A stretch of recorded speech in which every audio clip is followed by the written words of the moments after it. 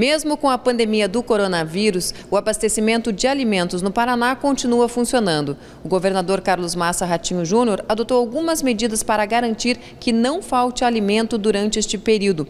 Entre elas, a ampliação da compra de produtos da agricultura familiar e a destinação da merenda escolar para 320 mil famílias paranaenses de baixa renda.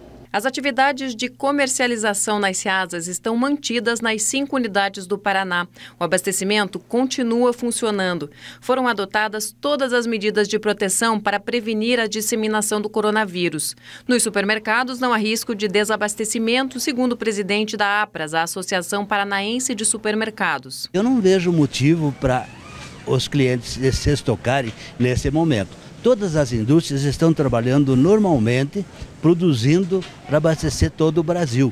Então não tem pelo que faltar produto na atual situação. O governo do estado ainda adotou medidas para evitar a proliferação do coronavírus nas estradas e assim garantir a saúde dos caminhoneiros e o abastecimento de produtos essenciais até tranquilizar a população que vai até o supermercado, muitas vezes preocupada que é, pode faltar na próxima semana, não vai faltar.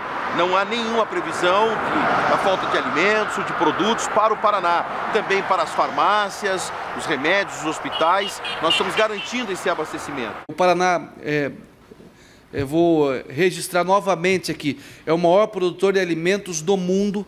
Nós temos capacidade de alimentar o Paraná, nós temos capacidade de alimentar o Brasil, e nós temos capacidade de alimentar um bilhão de pessoas, além das pessoas que nós alimentamos aqui no país. Então, esse risco não tem. O que tem que ter agora é paciência das pessoas entenderem que esse é um processo normal, que, que talvez não vai ter todas as marcas que a pessoa quer muitas vezes no mercado, porque as indústrias também têm a sua questão de matéria-prima, tem a questão da logística, que isso de alguma maneira é afetado, mas não terá problema de abastecimento.